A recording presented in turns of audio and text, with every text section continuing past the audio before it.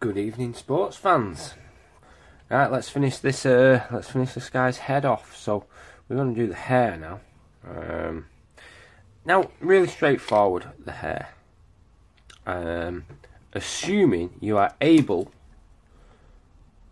to do tiny straight lines. Alright. So, to be honest, the face is the same actually. But, but you're looking at the ability to do tiny lines like that. Yeah, probably even smaller. So, you know, got my Broken Toad size zero here. Um, so I'm actually going to start with the shade. The hair's been base coated in Scorch Brown. This method will work for whatever series of colours um, you want. But essentially, in between every hair, we're going to put a black line. Yeah, that line should be slimmer at one end, wider at the other. In other words, slimmer at the top, fatter at the bottom. Yeah. Um, not much fatter, but fatter. Doesn't matter if it's if it's pretty uniform as well, but whatever. And again, on on this guy's face, um, this side the sculpt is a little bit tricky. Like you can't, you don't really have a choice of where the hairs go on his on his mustache. Um, so you just kind of have to do your best. Alright. Well, the ball's to get in the way here, isn't it? Okay, so let's just go one, two, three, one there, four, one there, five, one there, six, one there, seven. Because they're a little bit easier spot. Now I'll use these ones as um, references to do this side Really, in fact, it only really needs that one. That'll do me. Okay, up onto his hair. Let's just split all these up with the black. Obviously, being careful his skin. I've done it this way, um, just to keep it um, view a little bit better viewable for you. Um, I probably would have done it more like this. Um, let me know if it actually made a difference. two, three, four. And then let's go right around his hair. Let's separate that one out. Now this is it's really kind of a time and place to be careful. Now I'm kind of getting lost here, like my eyes are going a bit funny, so I'm going to do the one further over. That helps me then sort out and where the line in between goes. Here I'm breathing gently. So I'm just getting every line between each of the hair strands that's sculpted onto the model. So around the back here again, tricky to see, as well as sculpted a little bit. Not sculpted, but cast a little bit uh, smooth. There we go. So, the next stage. Well, it's the same thing, isn't it? This time with Mournfang. Um, and instead of going into the valleys, we're going up the peaks. Now, I'm not going to do almost any of these stages. Kind of like strong in any way. If I, if, if I really do this stage strong, his hair will start to turn this colour. I don't really want it to want it to stay quite dark for this guy. The other guy's got the light, the light, uh, the light hair. Um, oh, I forgot to do his little thing there under his lip. But anyway, so I'm kind of going to do these strands.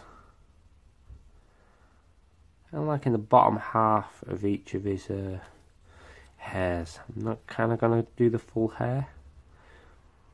And if I do do the full hair, it um, well, let's say this is the length of the hair. Again, the, the, it will always taper off to a point. Any brush stroke I do.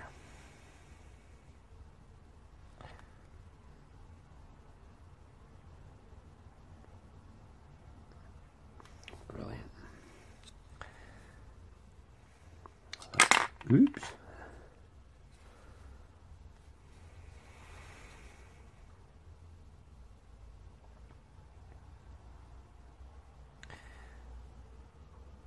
The sculpt models is uh, a little bit unclear like this. Half bringing the potential to make things look a little bit scruffy. Not that these are bad models, because they're really not, they're just excellent. But when dealing with certain things, there is. Um, the casting process and its ups and downs to deal with.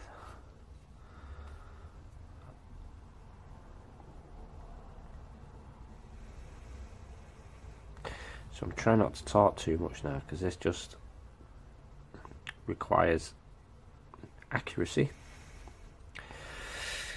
And breathing can um, sacrifice that sometimes. Unless you deliberately breathing smooth out. Oops, wobbled there. Again, tricky area that on the model. Let's just put a couple of little kind of like strands up where the crown of his parting is. Let's do the back. Whoops. There we go. get rid of that. Moving on up. And hopefully you get the idea. We're just going to keep going up through each colour, but each line we do will always be shorter than the previous line. This might be actually quite a big jump in colour. Might not want this.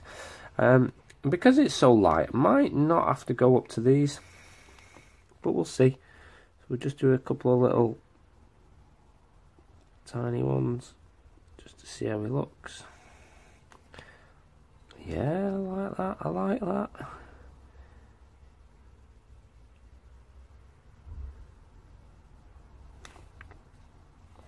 Cool.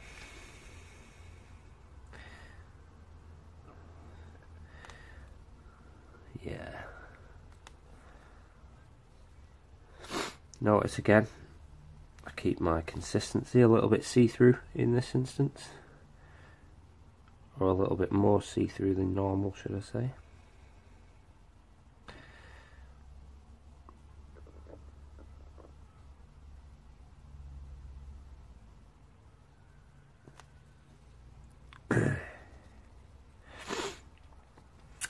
the uh,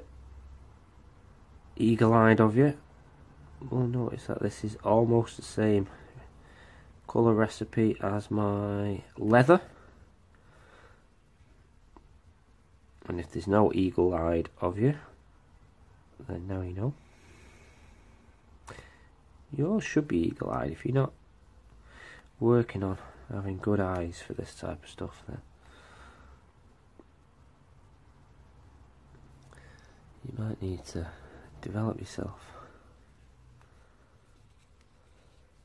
Dot each of these.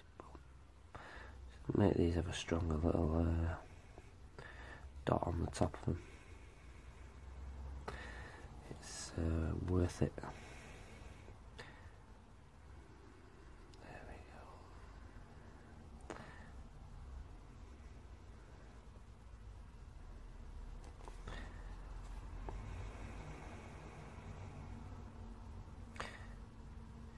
Between each hair as well. Just have a moment to make sure you're on target. Make sure you're able to focus clearly yeah your vision on the line you're trying to put the, the highlight on and the tip of your brush. And chances are if your brush is too far away you won't be able to do that. So take your brush as close as possible without touching. Set your target go okay right, ready on Notice I, I go back a lot now to the um, to the water pot. We've got a small amount of paint on the palette. Small amount of paint takes smaller amounts of time to dry. So you've just got to manage that a lot more.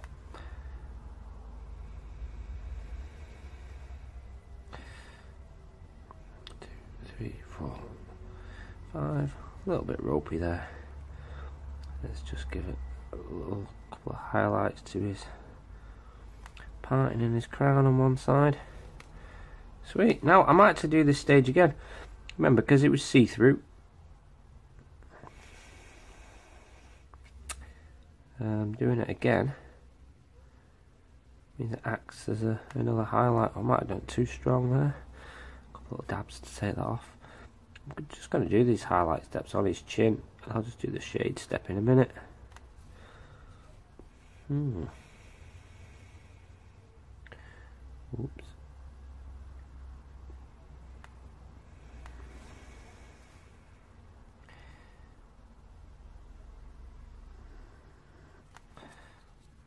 Brilliant.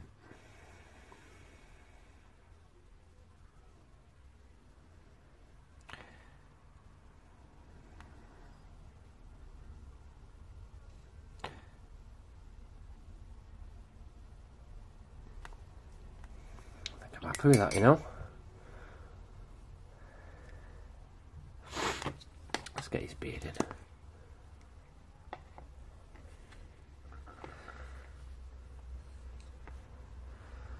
Real thin, real small. Beard, his beard pretty much consists of two hairs. Let's get them separated and get them outlined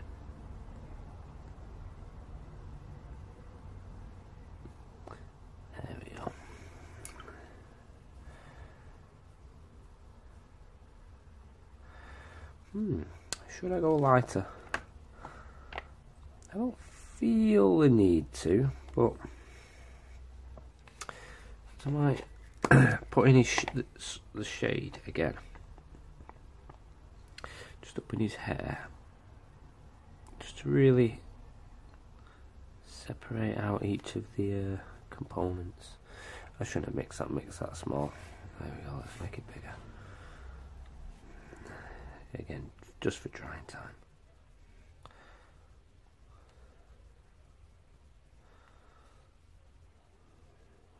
Brilliant. Uh, just double check some of the shades on his tash. Yeah, I'm happy with that. Just a quick shade right up along. Oh, Lost focus there. One second. Yeah, quick shade up along his beard, under his cheekbone. Um, just getting behind his ear a little bit, under his ear.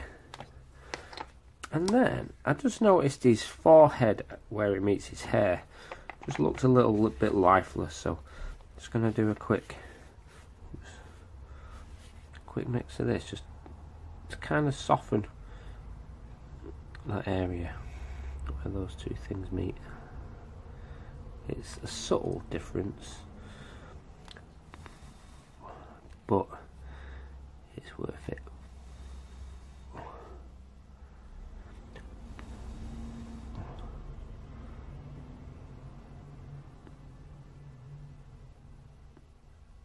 There we go. Well, I've got this dark brown here going to check his face to see if there's anything I'd really change about it. Been thinking about doing the stubble on his beard, on his chin, sorry, um, at a later point. Let me know if you'd want a video for that. Just making inside his ears a little bit darker here and there.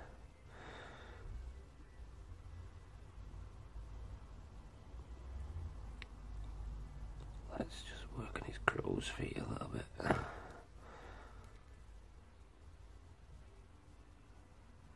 There we go. yeah, I'm happy with that. I may, may not go back and lighten his hair up a little bit more, but there you go. Hair all done. Get your questions into me and all that business. And again, for lessons, you know where I am.